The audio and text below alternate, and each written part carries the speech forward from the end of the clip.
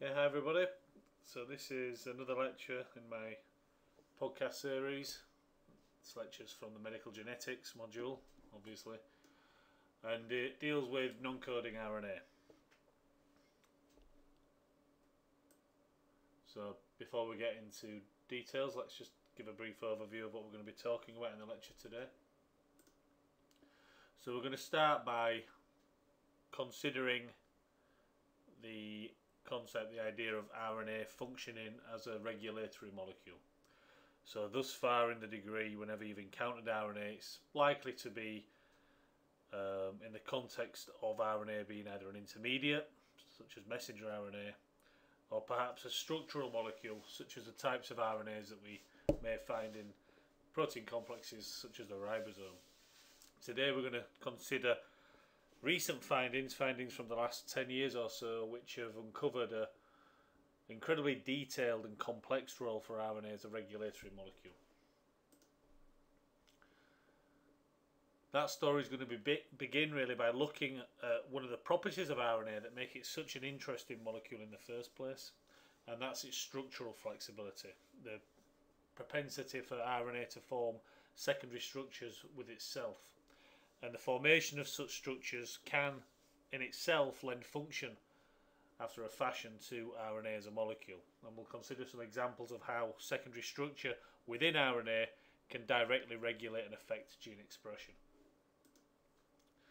We're then going to move on to uh, the so-called um, short and long non-coding RNAs. And it's these molecules in particular that the lecture is going to focus upon.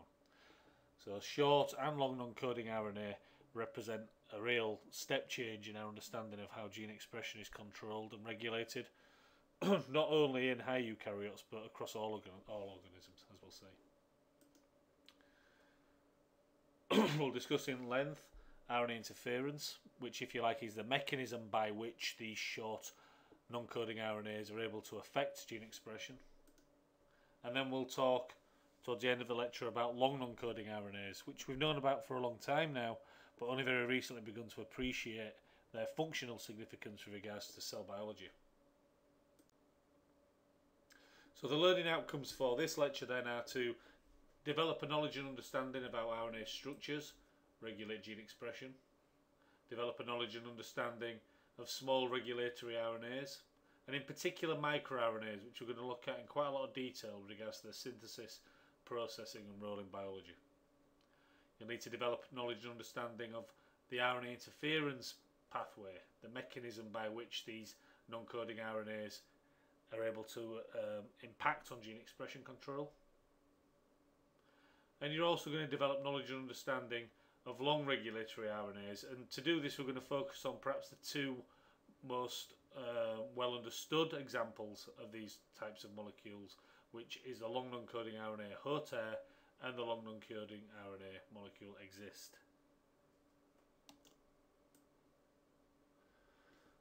So let's think about the um, concept of RNA as a regulator of gene expression then. So when did we first start to think about RNA in this way?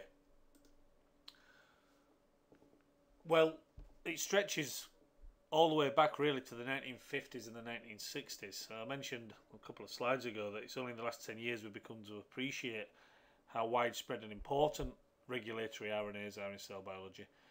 That's true, but the first inklings, if you like, in the scientific community that RNA might function in this way stretch all the way back to the birth of our understanding of molecular biology and gene expression, which really occurred in the 1960s. and it can be traced back directly to a couple of guys, um, a couple of Frenchmen uh, who were working on gene expression in bacteria in the 1960s. And these guys were Francois Jacob and um, Jacques uh, Monod, sorry. And it was Jacques Monod who is pictured here, looking rather cool, smoking a cigarette. Nothing cool about that, kids, obviously. Um, who was partly responsible for modern day understanding, if you like, of how gene expression is regulated. And this understanding was really born out of Monod, uh, and Jacob's work uh, on the lactose operon in, in E. coli. so the lactose operon is something everybody in this, uh, well, everybody on the biomedical sciences course at Bradford will definitely be familiar with because I know for a fact that Dr. Ross teaches this in year two on molecular genetics.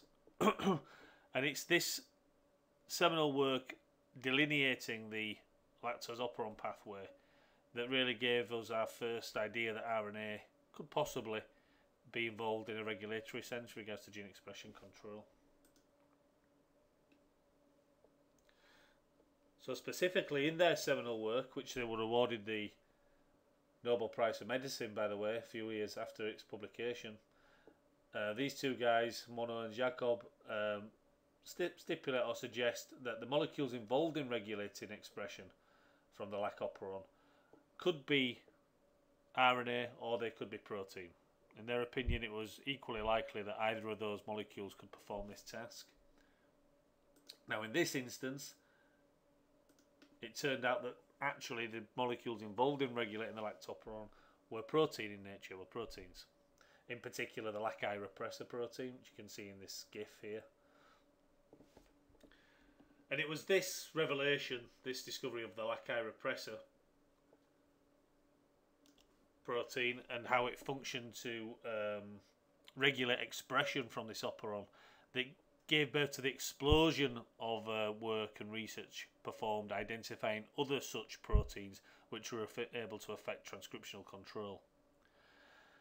Um, now there are many, many, many examples of such proteins. Like um, so, transcriptional uh, regulatory proteins are very widespread in biology, and partly because of this, and partly because of this slew of other similar proteins that were identified, the concept that RNA could also be performing tasks such as these with regards to regulating gene expression was sort of sidelined, if you like, for many years, only to be rediscovered far later on in the actual mid to late 90s. And uh, as we turned, uh, turned the millennium into, into the 2000. so we'll come back to that if you like, um, revisiting or rediscovery of RNA as a regulatory molecule in a, in a slide or two's time.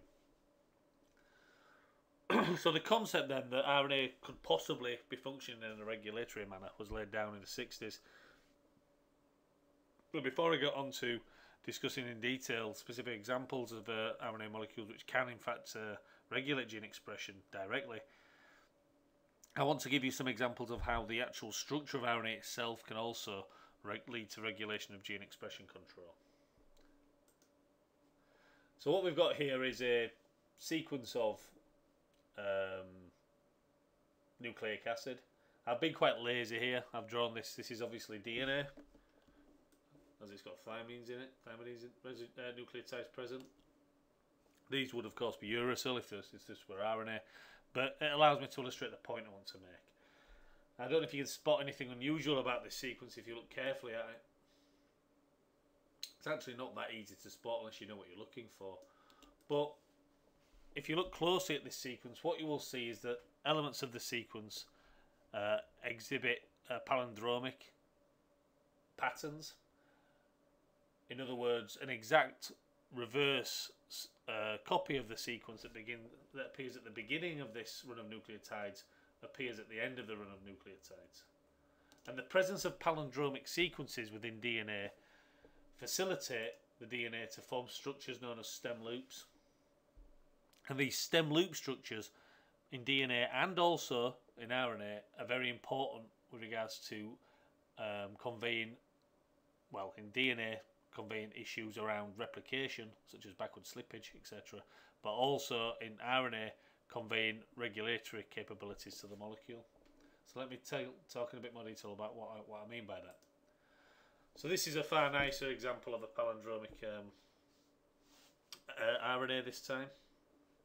And as you can see here, this RNA possesses a sequence such that allows base pairing to occur between palindromic sequences that are present in the RNA molecule. And what you have form in these situations of palindromic sequences is this classical stem loop structure here. So you have nucleotide bases in the RNA here, which are complementary to nucleotide bases just downstream of themselves, and then a region in between, which doesn't exhibit any kind of complementarity, which forms this loop. So this is a loop and this is a stem, which forms a so-called stem loop structure. So these sorts of structures can function in a number of ways. One of the ways in which it can function is to act as a roadblock to other molecules during transcription or translation. And whether you realise it or not, you've all encountered a direct example of this again in molecular genetics last year when discussing the tryptophan operon. So attenuation of the transcription process for that operon is achieved via secondary structures which form in the actual operon, um, the operon transcript. So I don't want to go over that old work. What I want to focus on today is the uh, is another situation involving these stem loop structures, which relates to the fact that they can function as binding sites for other regulatory molecules. And I'm going to give you an example of uh, where that can occur in in uh, animal cells. But before we go on to that example, it's important that you realise that some classes of the smaller regulatory RNAs, which we're going to talk about in a, in a moment or in a few slides' time, also assume this structure prior to processing. And we're going to talk more about these small RNAs, these microRNAs later on. So then, let's consider an example from ourselves, if you like, where um, the presence of such RNA secondary structures can affect gene expression directly. And a really nice example relates to iron homeostasis.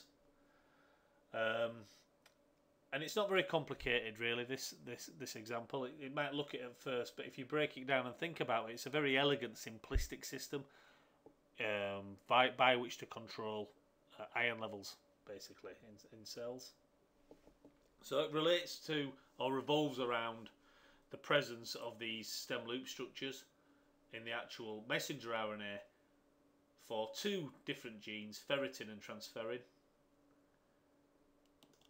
so before I go into the mechanism, let me just explain what ferritin and transferrin do. So ferritin is a protein that's responsible for binding and uh, binding to and sequestering iron. So if there's too much iron present in the cell, ferritin has a, has a, it's ferritin's responsibility. It's ferritin's job to bind the excess iron and sequester it away so it doesn't do damage or doesn't have any toxic effect.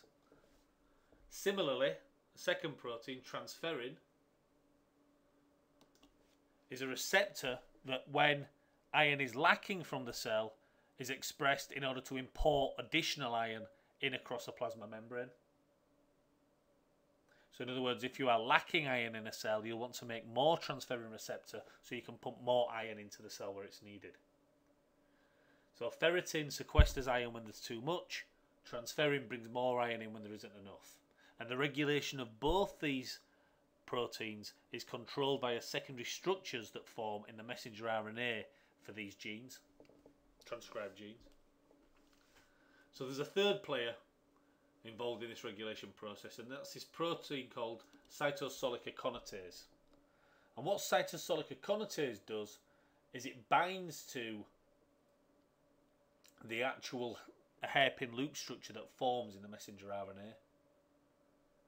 But it only binds to that structure in the absence of iron. So if iron is limiting, cytosolic aconitase will bind to the stem loop structure that's present in ferritin and it will also bind to the stem loop structure that's present in transferrin. If there's excess iron present, the iron excess iron molecules interact and bind with cytosolic aconitase, causing it to be released from these stem loop structures. So how exactly does the binding and release of cytosolic aconitase then have an effect on the gene expression of ferritin and transferrin? Well, one thing you may have noticed, those of you who look carefully at these sorts of things on slides, is that the stem loop structure in ferritin is present in the 5' region of the messenger RNA. It's actually present in the 5' untranslated region of the messenger RNA. So it's present in the part of the messenger RNA upstream of the start codon. Conversely, the stem loop structure for ferritin is actually present in the 3' untranslated region of uh, the ferrit, uh, sorry, the transferrin messenger RNA. And that's important because consider what we were talking about briefly in the previous lectures on mRNA processing and the fact that um, and the fact that uh, regulation with regards to mRNA stability tends to involve the 3' untranslated region. Regulation with regards to um, altering translation tends to involve the 5' untranslated region. And that's exactly what's going on here. So consider a situation in the absence of iron, so when iron's limiting in the cell. So therefore cytosolic aconitase is binding both of these stem loop structures. So for the case of ferritin, where the stem loop is in the 5' untranslated region, the presence of cytosolic on this messenger RNA effectively acts as a roadblock to ribosomes. So ribosomes are no longer able to translate across this messenger RNA in order to, in order to produce protein. So no ferritin protein is made. Conversely, the presence of cytosolic aconitase in the 3' end of this messenger RNA for transferrin means that the stability of the transferrin messenger RNA is greatly increased, which directly relate, results in increased amounts of transferrin protein being produced in the cell for the simple reason that the messenger RNAs that are being translated into that protein hang around for a lot longer in the cytoplasm and allow a lot more protein to be made before they're eventually degraded.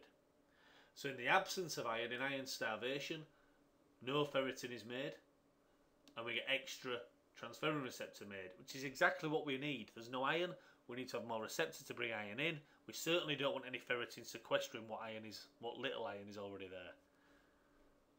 In the presence of excess iron, cytosolic aconitase now no longer binds these regions, so for the ferritin messenger RNA, this protein is released from the 5' end, ribosomes can then scan across this and start producing ferritin. In contrast, for the transferrin messenger RNA, in the absence of cytosolic aconitase from the 3' end, the stability of that messenger RNA is drastically decreased. Far less, if any, transferrin receptor is actually made into protein from that messenger RNA because the RNA is so unstable. The ribosomes simply don't have a lot of opportunity to bind to and translate protein from those molecules. So when there's lots of iron around, we make lots of ferritin to sequester that excess iron, and certainly we don't want to make, and we don't make any transferrin receptors to bring more iron in. There's already too much there. So it's a really elegant system based on the secondary structure of RNA that exists in order to regulate gene expression. So that's a really nice example that you want to uh,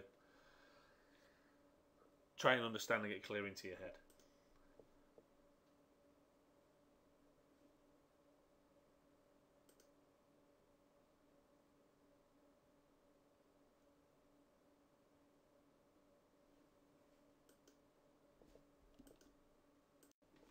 Okay, so that's how the structure of RNA can regulate gene expression indirectly.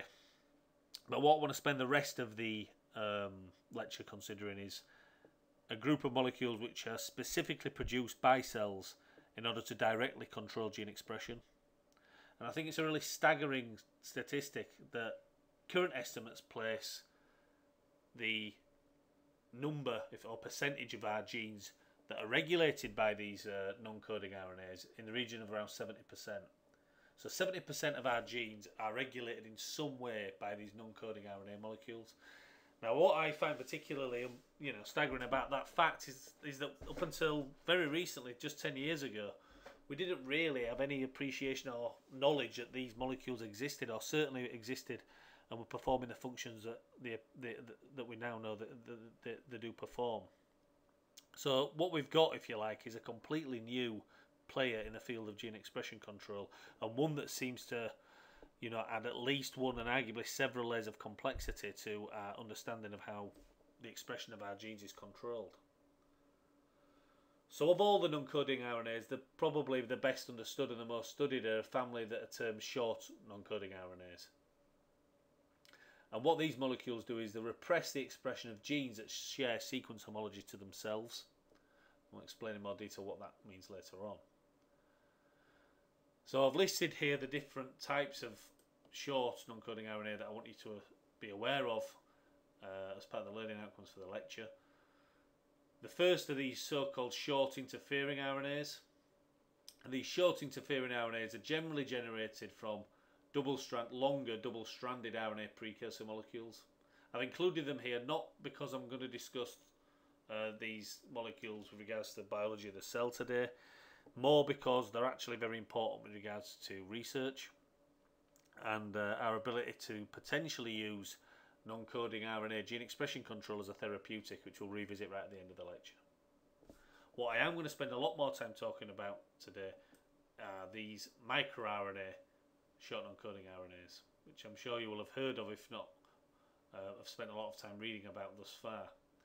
So these microRNAs are produced from precursor RNAs encoded by genes. And I've put genes in inverted commas there because as Dr. Fessing, I believe, tried to explain to you in previous weeks on the, on, on the module, our definition of what a gene is or a transcriptional unit is has altered somewhat in recent years. So we no longer just think of genes as necessarily um, bits of DNA that encode for protein sequence. Genes or transcriptional units can encode for lots of different things, including non-coding, long non-coding RNAs, and other elements as well. So microRNAs are generally produced from precursors that exist in RNA that is encoded as part of genes, and we'll talk more about the structure of these microRNAs and how they're processed later on. And then final uh, family of short non-coding RNAs I want to mention are these so-called Piwi interaction RNAs or piRNAs. Uh, these are a family of short non-coding RNAs that are expressed in germline cells and have a very interesting mode of action and what appears to be a very important job to do regards to monitoring the genomic integrity of the cell. And we'll talk briefly about that in a few slides' time. So of these three examples here, it's microRNAs that we're going to focus on today. These are arguably the most important uh, member of the family from a medical and disease perspective.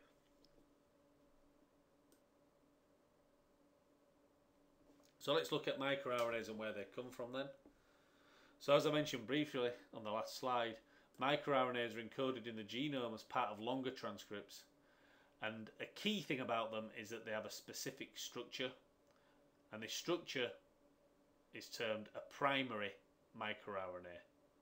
And the reason that this primary microRNA structure is so important is that historically it has allowed scientists to try and identify uh, microRNAs based on bioinformatic information that we had available about genomes. So let's have a little look at what this structure looks like and explain what I mean by being able to identify these things via bioinformatics. So the first part of this figure here basically is just demonstrating the fact that microRNAs can be derived from a different, uh, lots of different locations. They can be found between genes, intergenic, they can be found in the exons or the introns of coding genes. Uh, they can be found within polycistronic genes. Wherever they're found, prior to processing, these microRNA molecules appear with this classical primary microRNA structure. And as you can see, this structure is a stem loop. So this brings us back to the structural um, the structural uh, discussions we were having a few slides ago with regards to the ability with regards to, with regards to the ability of RNA molecules um, being able to form secondary structures based on sequence, palindromic sequence. And that's exactly what these microRNAs do here in transcripts that have been transcribed from uh, genes within the genome where, they, where, where these microRNAs are found. So the reason that this particular structure then allows bio, bioinformaticians to identify potential microRNAs uh, in silico, which means basically via the computer just looking at raw RNA sequence, is the fact that they can look for palindromic sequences that exist within genome sequence data and try and model that uh, palindromic sequence in such a way that it can predict whether or not it's likely to form this sort of hairpin loop structure. Now, those sorts of studies, those bioinformatics studies, uh, are not perfect. Um, they can throw up false positives. They can claim that a particular sequence is likely to form a microRNA when it isn't, and conversely, they can give you false negatives. They can miss microRNAs which are in, are present in transcripts. But it certainly allowed bioinform bioinformaticians a really powerful approach with regards to trying to identify microRNAs which were existed in known transcripts.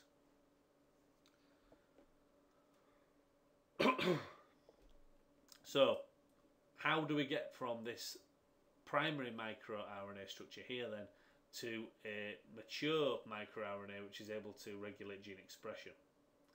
The first thing to say is I don't want you to worry about this part of this diagram here. This is just included for completion's sake. We're going to go through each of these processes and elements uh, over the coming slides. But what I do want you to appreciate is that in order for a microRNA to become active, it must undergo a series of processing events in order to generate an active, mature microRNA.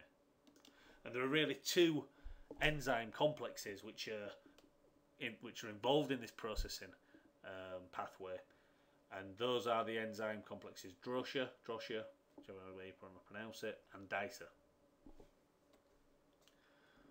So what Drosha does is it actually comes along and recognizes primary microRNA sequences within transcripts and snips these primary microRNA stem loops away from the transcript in order to, the, in order to release them from this longer RNA molecule. Now the process of snipping these away from this longer transcript generates what's known then as a precursor microRNA or a pre-microRNA. And this processing, this snipping of the microRNA away from the transcript takes place in the nucleus of the cell. Once Drosha has cleaved this stem loop away from the longer transcript, this precursor microRNA, pre-microRNA, is then actively transported across the nuclear pore via a export protein called exportin 5. So this export pathway is dissimilar to the TAP pathway we talked about during mRNA export uh, in some ways, but similar in others. Exportin 5 is a TAP-like protein. It binds to the pre-microRNA and it allows it to shuttle through that nuclear pore complex past those FG repeats that we talked about for mRNA transport. And then once it's in the cytoplasm, it releases the uh, precursor microRNA in order to get further processed. So once this transport across the nuclear pore is complete, the precursor microRNA is then cleaved once more by a second enzyme complex called DICER. And this cleavage by DICER leads to the production of a mature microRNA generally between 21 and 23 nucleotides in length, that can then enter something called the RISC complex and go on to affect gene expression control. we're going to talk about the RISC complex and how that works in a second. What you need to take away from this slide is A, the structure of microRNAs when they're first transcribed, which are these primary microRNA stem loop structures, the fact that these primary microRNAs are cleaved by an enzyme complex called Drosha, in order to release a precursor microRNA. This precursor microRNA is transported into the cytoplasm by exportin 5, whereby once in the cytoplasm, it itself is cleaved by another enzyme complex called DICER, resulting in the final mature microRNA being incorporated in the RISC complex. So what I want you to look at on this slide is a more detailed picture of what actually is going on with regards to cleavage of the primary mic microRNA and precursor microRNA by Drosha and DICER. And what I've done is I've marked the actual cleavage positions of the uh, that occur in this microRNA on this on this diagram below. So if we look first at the cleavage by Drosha, which is marked by the red arrows, one thing that's important to notice is that cleavage by Drosha leaves a 2 nucleotide 3' overhang present on the microRNA. So it cleaves here and it cleaves here. This is a 5' end. So 5' all the way around as a single stranded piece of RNA to the 3' end. But the 3' end has a 2 nucleotide overhang present. And it's that overhang, those two nucleotides which are unpaired compared to the rest of the nucleotides in the stem of this structure that are important for the second cleavage event by DICER. DICER comes along and it recognises this two nucleotide overhang and binds to the precursor microRNA and then DICER chops the head of that stem loop off so it chops the loop structure off by cleaving it at these nucleotides here. So once DICER's done perform that cleavage what you're left with then is a short double stranded piece of RNA. You've lost this loop structure here and you've just been left with 21 to 23 nucleotides of double-stranded RNA. A couple of other features to point out. This is the mature microRNA sequence, this double-stranded 21 to 23 nucleotide um, piece of RNA that's left following cleavage by Drosha and Dicer. So when you hear the term, or if you want to use the term mature microRNA, that's what you're referring to. And another term you may come across if you do extra reading around microRNAs is a seed region. And this seed region is important because it's a seed region that actually represents the nucleotides which do the initial base pairing with the microRNA's target messenger RNA. And we'll talk about target mRNAs in a second when I explain exactly how these small RNA molecules are affecting gene expression control. But it's a seed region that's responsible for the initial base recognition that goes on during RNA interference. Okay, so RNA interference. So Fire and Mello were awarded the Nobel Prize for Medicine in 2006 for their discovery of RNA interference. And it's really illustrative of how important a discovery this was. Uh, the fact that they were awarded the Nobel Prize so quickly after its publication. Normally, scientists have to wait a lifetime often before the Nobel um, committee recognise their work as being really of seminal importance, of such a fundamental importance to medicine or physics or chemistry or whatever, that um, that award, you're awarded the Nobel Prize. Uh, Higgs, for example, put forward his theory in the Higgs boson decades ago, 30, 40 years before the, you know, the Nobel Committee recognised his work. Fire and Mello had to wait three or four years before the Nobel Prize came along. And that's indicative of a couple of things. One, just how important a mechanism RNA interference is, and two, just how widespread and far reaching the implications of this discovery are for our understanding of gene expression control, but also potentially for therapeutics and other elements as well. So, where did it all come from then? Where did we first start piecing together the the puzzle, if you like, that um, resulted in the identification of RNA interference as a mechanism? Well, it began by serendipitous experiments in different organisms, as is so often the case in science, and in particular, in particular, sorry, experiments carried out in the flower petunia and uh, experiments carried out on potato virus, and also experiments carried out in C. elegans, a nematode worm.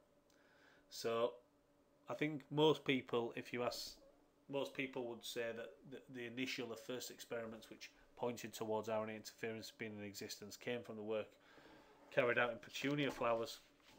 And what was going on here was that there was a guy working for a company in the States, and his remit was to try and produce a petunia flower that had a nice, deep purple colour, even more deeply purple than the petunia flowers which were already in existence. So, in order to do this, he thought he had a nice, simple plan of action. He would find the gene, which contributed the the purple colour to the to the flower to the plant, which he did, and then he would ectopically express that gene, which produces a purple colour, from a strong promoter off of a plasmid, which he did. Unfortunately, when he did this experiment, he saw the complete opposite of what he expected. So plants which were expressing his ectopic copy of the purple gene, if you like, actually produced flowers which were white uh, in some places, and in some instances completely white completely devoid of any colour. and this was a complete opposite to what he expected, but nevertheless a very intriguing result. So at a similar time, people were doing experiments in C. elegans in nematode worms, trying to knock down or get rid of mRNA expression for a particular gene. What um, these guys were doing in order to achieve that was a was a technique known as antisense um, RNA. And antisense, which was around 15 or 20 years ago, was the mechanism of method of choice for trying to downregulate or deplete gene expression in, in mammalian cells. So it's a very simple concept of antisense worked. You introduced an RNA molecule or a molecule that had reverse complementary sequence to a particular messenger RNA that you wanted to deplete. The idea is your complementary antisense molecule recognizes and binds to the sense messenger RNA molecule and thereby in, inactivates it, prevents it from being translated to protein. And it works reasonably well. Now, what was interesting about the particular experiment these guys did is that they did the experiment using the antisense RNA, and they saw that you got some depletion of their target gene. They managed to restrict expression of that gene. And in that experiment, they also included a control. So they included a negative control, which was the sense messenger RNA. now, the sense messenger RNA should have had no effect on the messenger RNA that they were trying to knock down because it possessed exactly the same sequence. It wouldn't bind to the messenger RNA and activate and inactivate it. But intriguingly, what they saw is that they got an equally um, good knockdown of the messenger RNA target with the sense messenger RNA as well as with the antisense messenger RNA, which really, you know, got them scratching their heads. And the genius of um, Fire and Mello was work was that they actually managed to put together these pieces of the jigsaw and work out what was going on. So what Fire and Mello did is they introduced sense RNA and antisense RNA to C. elegans worms, which targeted a particular gene responsible for kind of muscle filaments in the worm. And they showed that the sense RNA and the antisense RNA actually had little effect on the expression of this muscle filament protein. However, when you combine the sense and antisense together to form a double-stranded piece of RNA, what you saw then was a very clear phenotype, this twitching phenotype, whereby uh, the microfilament protein uh, was not being produced, which resulted in the worm developing this kind of twitchy phenotype. And it turns out, going back to the previous experiments in C. elegans, that the reason why the sense RNA was producing a knockdown effect in those experiments was that the actual preparation of the sense RNA contained a very small amount of antisense contaminant. And so it wasn't actually the sense RNA that was doing the knockdown, it was the fact that some very small amount of this double-stranded RNA product was being generated due to this contamination. And it was this that was actually doing the knockdown of the actual messenger RNA in those experiments. So if that's the observation of RNA interference, the fact that these double-stranded RNA molecules appear to be able to knock down gene expression or deplete gene expression, how exactly does it work at the molecular level? So as alluded to earlier on in one of the previous figures, RNA interference is achieved via a protein complex called RISC, RNA-induced silencing complex. And we talked briefly about this again last year in molecular genetics, but we're going to go into a lot more detail of this process today. So the double-stranded RNA molecules we considered on the previous page, well, they are actually precursor molecules that eventually give rise to small double-stranded RNAs, such as the short interfering RNAs we talked about at the beginning of this section. And as is the case of microRNAs, these short interfering or small double-stranded RNAs are generated by the enzyme DICER. These short RNAs, be they from uh, short interfering RNAs or from microRNAs are then incorporated into this RISC complex and then it's this RISC complex which actually facilitates the targeting and repression of translation. So that's illustrated quite nicely in these diagrams here. So what we have here is double-stranded RNA, short double-stranded RNA derived from a longer molecule. And here we have a precursor microRNA molecule. Both of these structures are recognized by DICER. DICER binds to these structures and then cleaves, in the case of microRNA, the loop structure off of the precursor. this results in the production of this mature microRNA, which is then asymmetrically assembled into RISC. So what that means is one of these strands is released, and the other strand, which is known as the guide strand, which is shown in red here, is actually incorporated into the RISC complex. Once the guide strand is incorporated into the RISC complex, the RISC complex then can seek out the messenger RNA target, which has complementary sequence to this guide strand, and cleave that target in order to degrade the messenger RNA and shut down gene expression. And again, we'll talk more about this in a second. What we're looking at here is a 3D structure for the DICER enzyme complex. And it's got several interesting domains which you need to be aware of. The blue molecule here going through the actual protein complex is the double-stranded RNA molecule or the microRNA precursor molecule here. And DICE is sometimes described as having um, three main domains to the protein structure. The first domain is a so-called PAZ domain down here. What the PAZ domain does is it binds the RNA molecule, specifically if you remember that 3' 2 nucleotide overhang that we talked about earlier on. So that overhang sits within the PAZ domain here, and the PAZ domain holds the microRNA in position. There's then a handle region, so DICER, and then a hatchet head, or axe head region, to the protein complex as well. And it's this hatchet head, this axe head, that actually snips and cleaves the precursor microRNA molecule in order to produce a mature microRNA that's around 21 to 23 nucleotides long.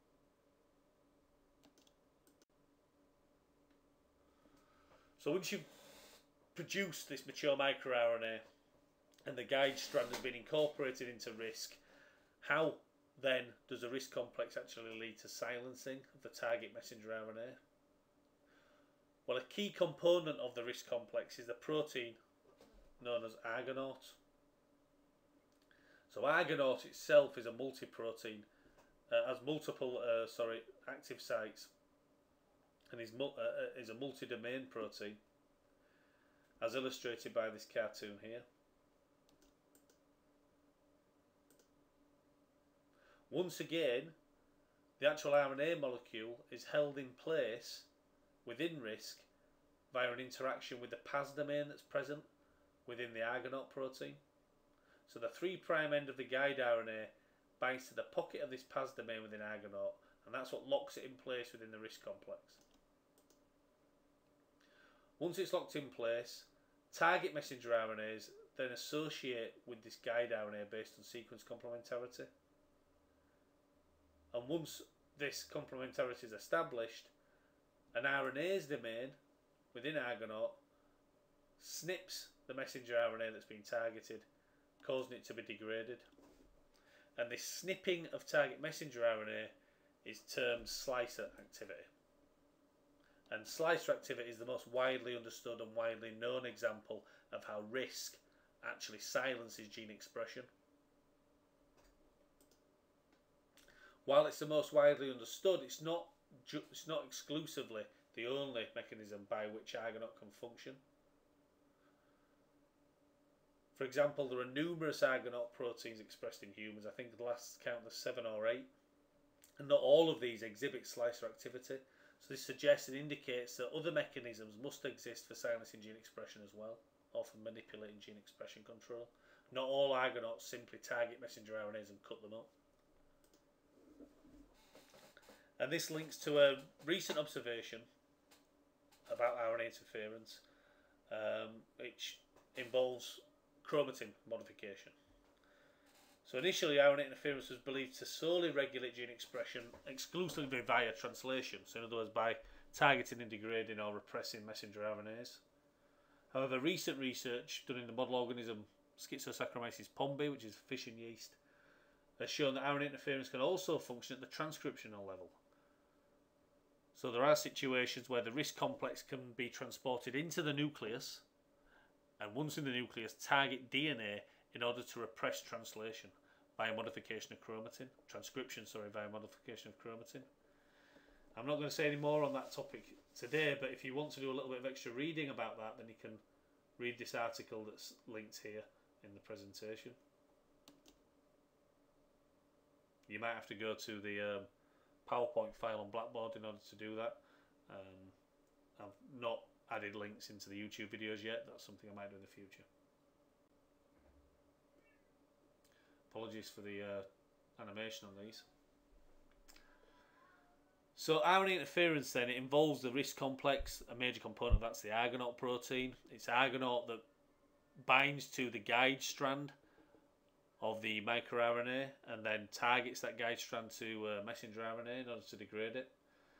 That's all well and good, but why does RNA interference exist in the first place? Well, it's generally believed that RNA interference evolved as an ancient evolutionary conserved defense mechanism. And there's a few lines of, um, or a few avenues of research that support that hypothesis. The first um, of those is the CRISPR system from bacteria, which has striking similarities to the Piwi RNA systems in animals, which we're going to talk about in a second. These similarities revolve around the fact that both the CRISPR system in bacteria and the Piwi RNA system in animals target and silence the expression of unwanted foreign inverted commas DNA. So in bacteria, the CRISPR system is able to recognize and inactivate foreign DNA that's been placed in the cell by bacteriophages. So bacteriophages, as you sure you know, are like viruses for bacteria. So how does that system work? Well, it's relatively complex. There's a nice section on it in the core textbook, Molecular Biology of the Gene, if you want to read a little bit more about this. But effectively, in bacteria, when bacteriophages enter the cell, elements, small elements from the bacteriophage genome are actively acquired by a region of the bacterial genome called the CRISPR region. And these signatures, if you like, these small elements from these invading bacteriophages are then used by the bacteria to produce so-called CRRNAs, which are then able to target and downregulate future invading bacteriophages who exhibit these sequences. So that's quite a simplistic explanation. If you want to again do more reading, there's um, lots of information out there on CRISPR systems if you've not covered them already microbiology lectures. So how is this similar to the Piwi RNA system then in ourselves? Well, Piwi RNAs are interesting and um, as I said earlier on in the lecture, they're expressed in germline cells. One of the reasons they're interesting is that it appears that they're responsible for controlling um, and repressing active transposons within our genome. So as Dr. Fessing no doubt mentioned, nearly half of our genomic sequence is actually comprised of transposon DNA. Thankfully, the vast majority of this is inactive and it's found within heterochromatin. But every so often, excuse me, every so often transposons can become active once more and start jumping around the genome. So remember, transposons, transposable elements, are elements which are able to self-replicate, which are elements that are able to replicate themselves and then move themselves to a different location in the genome. And the reason that's a problem is if things start moving around the genome in an uncontrolled manner, it can give rise to spontaneous mutations. So therefore it's essential that the expression of these transposons is kept in check. And that's what the Piwi RNA system's doing. If you think about the cells of the body which you particularly want to avoid spontaneous mutations occurring in, then the, right at the top of that list will be the germ cells, the germline cells. So it's no coincidence that it's these same germline cells which see the highest levels of Piwi RNA expression. So again, if you want to read more about Piwi RNA and CRISPR systems, you can refer to the core textbook and look at a bit more information in there on those on those um, different different mechanisms. So one of the major reasons that microRNA research is so widespread and so, uh, you know such a huge industry at the moment is because of the medical importance that we're now starting to ascribe to individual microRNAs or microRNA families. The examples I give you on this slide are limited to cancer, but we now know that microRNAs are regulating all sorts of different functions in the body and are starting to be associated with all sorts of different diseases, particularly neurological disorders. But the examples that are most commonly found in textbooks with regards to microRNA and disease would involve cancer. And initially, like everything else, when studies in these into microRNAs and their um, relationship to disease first began, the consensus appeared to be that actually a reduction in RNA in, in microRNA expression seemed to be the most commonly associated event with with with with disease with cancer. Uh, but we now know that microRNAs can also be upregulated as well, and that an increased expression of microRNAs in certain circumstances can also lead to disease. So cancer is a nice um, model system to consider with regards to this expression um, profile and how different levels of expression can lead to lead to illness. The most obvious example being the targeting by microRNAs of either oncogenes, proto-oncogenes, or tumor suppressor genes uh, within within cells. So if you imagine a situation such as exists for the uh, microRNA 15A and 16 uh, molecules which are known to target and downregulate a number of different proto-oncogenes in our cells. If the expression of these microRNAs is reduced or ablated altogether, then the expression of the target which they normally regulate will increase. And as you should be aware by now, increased or overexpression of proto-oncogenes can lead to activation and um, the rebranding, if you like, of those proto-oncogenes to oncogenes insofar as they will potentially start to cause cellular transformation in cancer.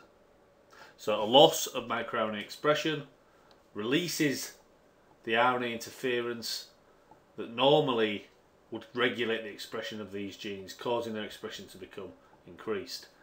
Conversely, if microRNAs are responsible for fine-tuning, if you like, and regulating the expression of tumour suppressor genes such as PTEN and RB2, and you overexpress these microRNAs, then rather than just, if you like, turning down the throttle a little bit on the expression of these tumour suppressor genes, the microRNA families involved could shut off expression altogether. And if you shut off expression of tumour suppressors altogether, then once again you tip the balance in the favour of cellular transformation and the development of cancer. So there's a lot of research, and if you go onto PubMed and type microRNAs and cancer, you'll find hundreds, if not thousands, of hits which have been published now linking microRNA expression to different types of cancer. So it's a big area of research and potentially a big area of medical importance. Mentioned earlier that the neurological diseases are also being linked now with microRNA expression profiles. And there's some really interesting emerging data for the Fragile X mental retardation protein, which is the gene product that um, is associated with the neurological disease or the autism-like disease Fragile X.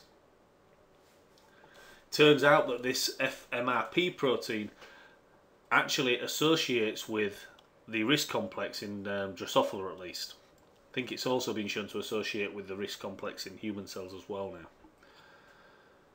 But certainly in Drosophila there's clear evidence showing that FRMP physically interacts with the Argonaute protein and these data are shown in these co-immunoprecipitation experiments here. So what the, what the researchers have done is they've artificially expressed in bacteria a version of the Drosophila FMRP protein here fused to a GST epitope tag. We talked about epitope tags in molecular genetics last uh, year, if you recall.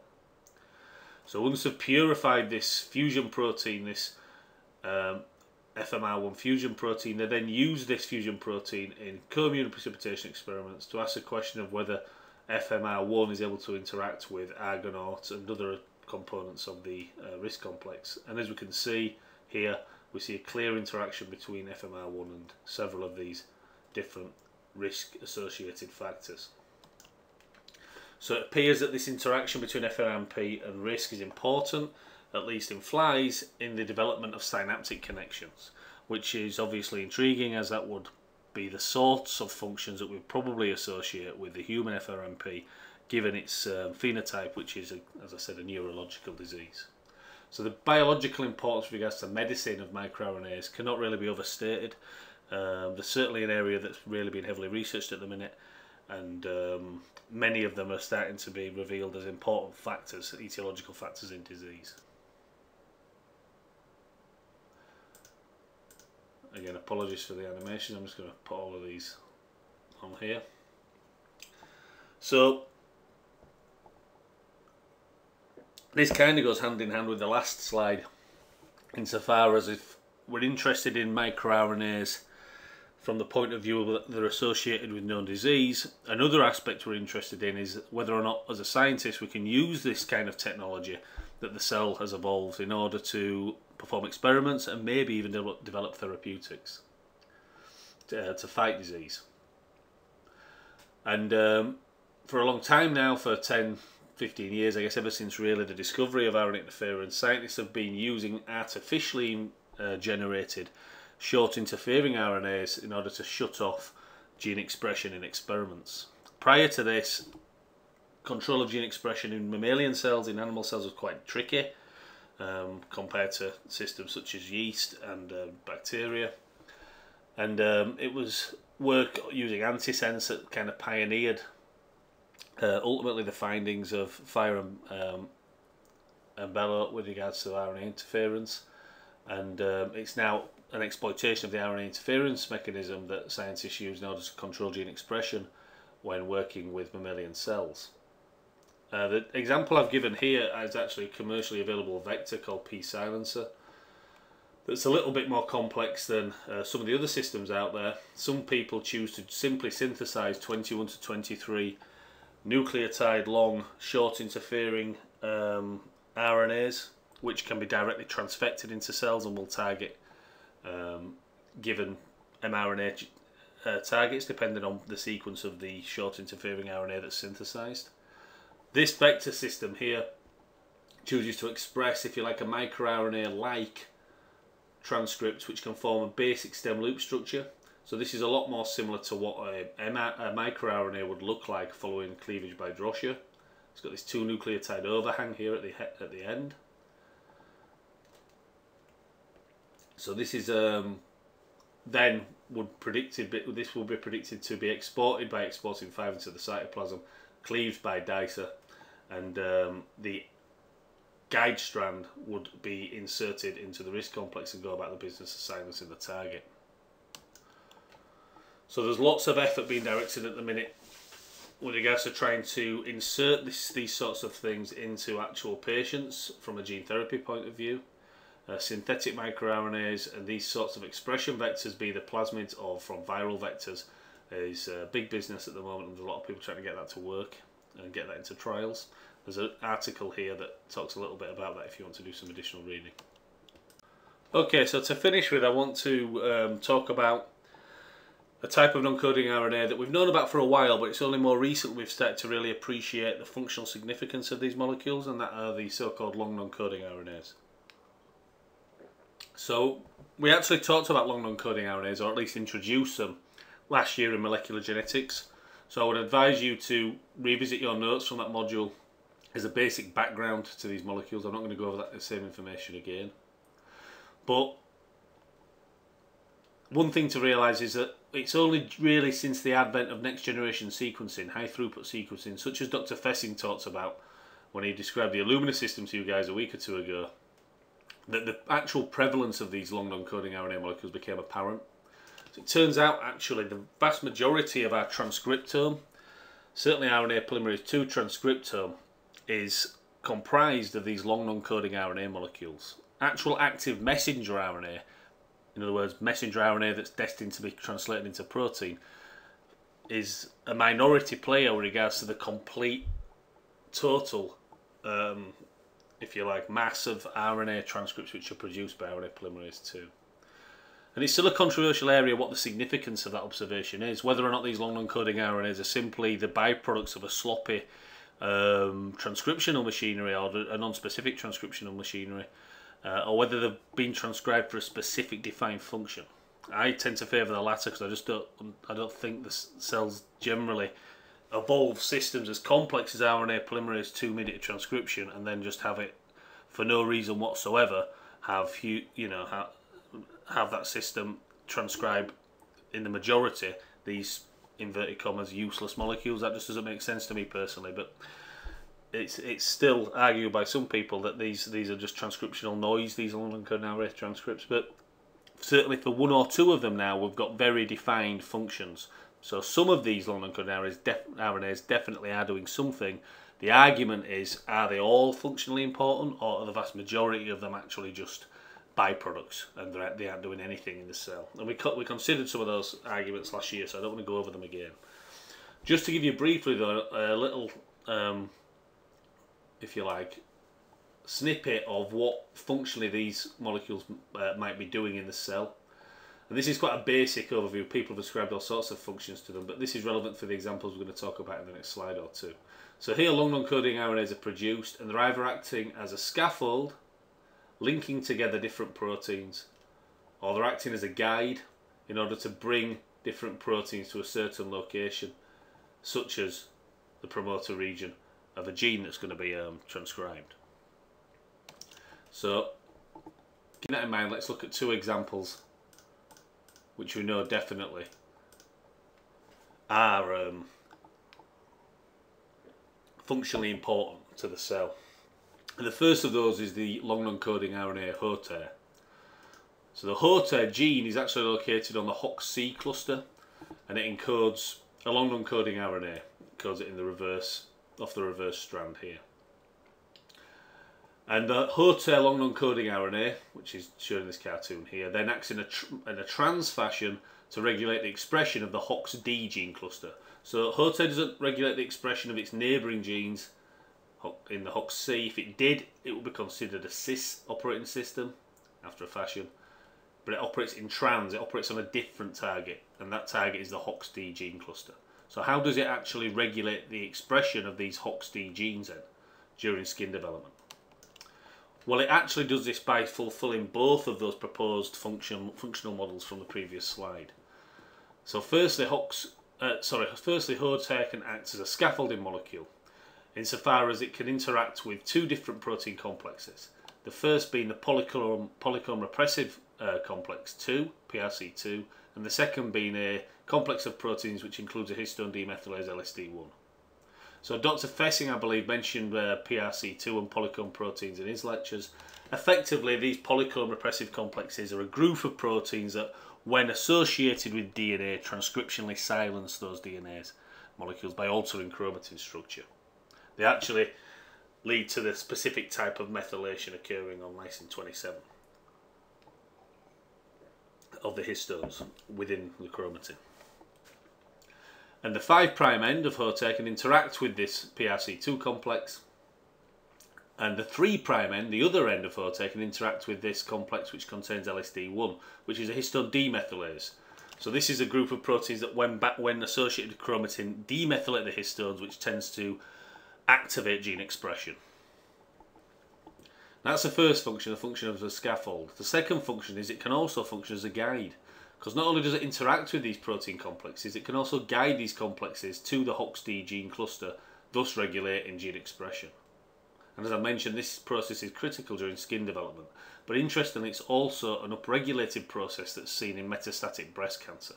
So there's links again between this long non-coding RNA here and its expression level and um, the development of certain types of cancers, in this instance, breast cancer. But what's interesting is the fact I think that the 5' end can interact with a, a, complex which shuts off gene expression, the 3' end can interact with a complex that turns on gene expression. So what you've got is a molecule that's really pulling the strings here and can turn off and turn on gene expression within this system, within this HOX-D cluster, uh, as is needed during the complex process of developing skin. The second example I talk about is a long non-coding RNA XIST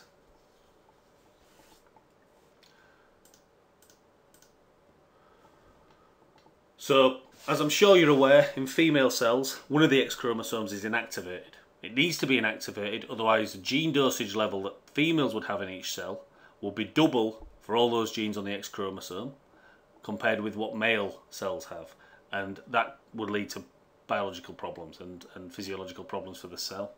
So one of the X chromosomes in every female cell is always switched off transcriptionally, it's silenced and it tends to be silenced by forming heterochromatin, heterochromatin-like state. There's just no active gene expression or next to no active gene expression at all from, from that particular copy of the chromosome. And X inactivation is a really interesting area of biology that's been extensively studied. And it turns out that in our cells, um, inactivation occurs, or in animal cells anyway, um, mammalian cells, um, let me rephrase that, uh, placental mammals is probably a better way of, of, uh, of bracketing and um, speaking specifically about the group of animals I'm talking about because it's different from marsupials. In marsupials, the paternal X chromosome is always inactivated in female cells. In um, placental mammals, it's the X chromosome which is inactivated in female cells is determined at random, and it might be the male one or it might be the female one. And that random process is established around the 32 to 64 cell stage of development, so very early on during development following fertilization. And the interesting thing is that once this random pattern is established, every single cell that's derived from this very early blastocyst stage inherits this same pattern of inactivation. And that can be exemplified by this uh, tortoiseshell cat, this calico cat here.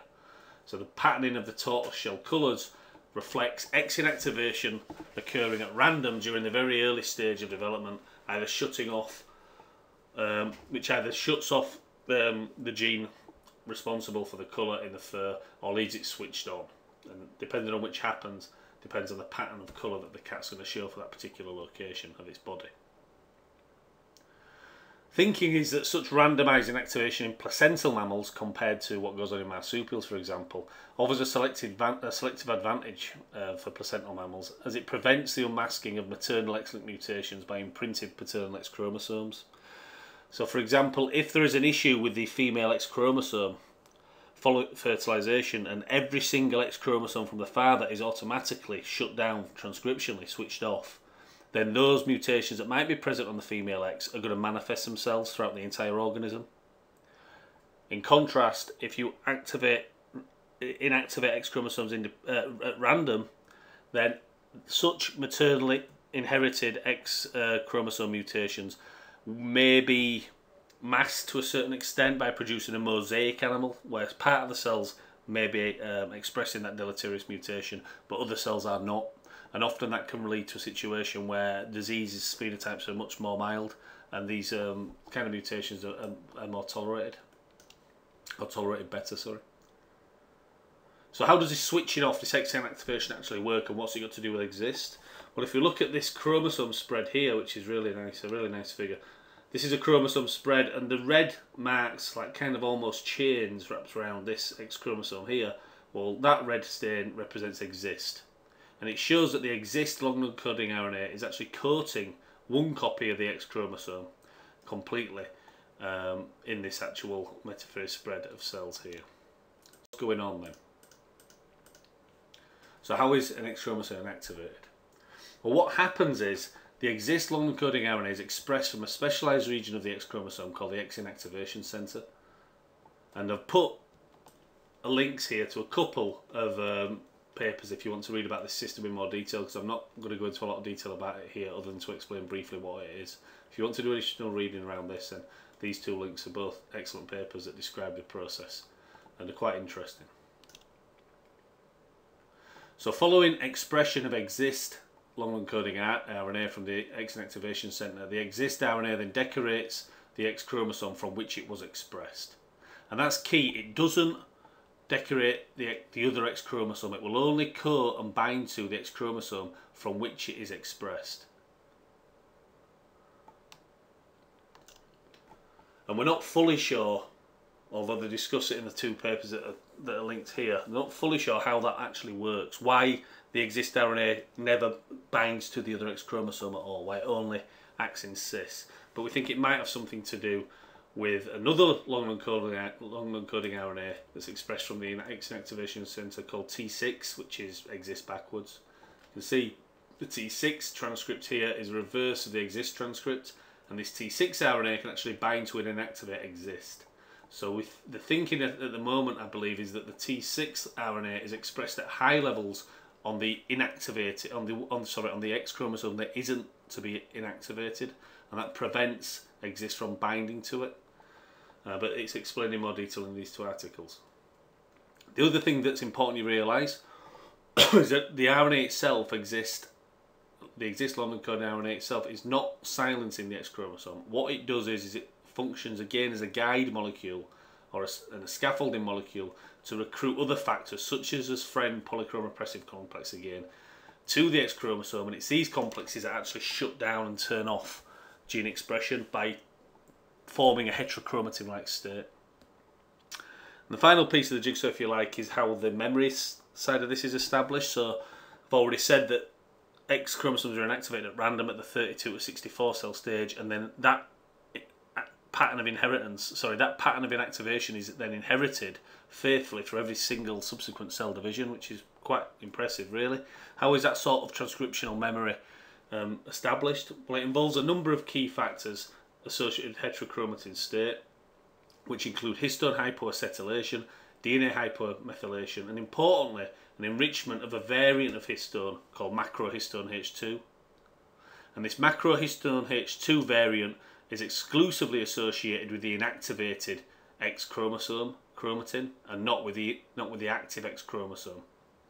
So these factors together, it believes, which are recruited as a consequence of XIST expression, excuse me, I thought to establish a chromatin state which is then inherited via memory, if you like, which is once set is can't be unset, and uh, every subsequent cell that's generated um, following this establishment of silencing inherits that, inherits that same pattern of X inactivation. Uh, and then when they divide and have two daughter cells, those daughter cells have that same pattern of X inactivation as well. So XIST establishes which X chromosome is to be inactivated. It facilitates the recruitment of polychromosome repressive complex, which shuts down X uh, transcription from the X chromosome quite quickly. And then lots of other things happen as well as PRC2 recruitment. Lots of other things happen to that inactivated X chromosome. Histone hypoacetylation, DNA hypermethylation, and macro H2A accumulation. And it's these things which then establish the actual memory um, with regards to inactivation itself. So the final slide here, I'm not going to talk through, it's just a few more things which you should think about with regards to the possibility of developing um, RNA interference therapeutics. This kind of links back into the link to, to, the article that I provided a link for when we were discussing artificial RNA interference and RNA interference as a research tool. So please feel free to do some additional reading looking at the therapeutic benefits of, of uh, interference, but I'm not going to talk much, much more about that in, in this actual lecture. So just to finish off with a quick summary then. Understanding how these non-coding RNAs are regulating the cell is one of biology's most important challenges as things stand. There's a lot of money and time and effort by very intelligent people and eminent scientists being spent trying to understand how these molecules are regulating gene expression. Seems that RNA interference evolved as a defense mechanism but in higher order organisms at least, that defense mechanism has been, if you like, exploited as a means of fine-tuning gene expression control. However, part of that defense mechanism is retained in our cells via the Piwi interacting RNAs, which appear to control the, activate, the, the activity of active transposable elements. And all of this control is achieved via the RNA interference machinery to a large extent. Long non-coding RNAs represent the majority of our transcription products, but we know next to nothing of the function and understanding what all these long non-coding RNAs are doing, if anything, is again one of the real big challenges of the next 10 years in molecular biology. Certainly few of these now we're starting to understand in a lot of detail. We talked about HOTAIR and XIST.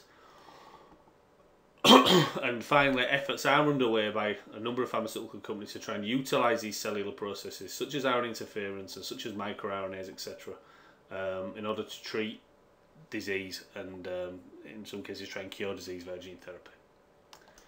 So thanks for your attention. I hope you enjoyed the lecture. Um, I would encourage you to look at the core textbook, uh, Molecular Biology of the Gene, which has an excellent chapter on this material and uh, which was a good source of information when producing this, this lecture. Thank you.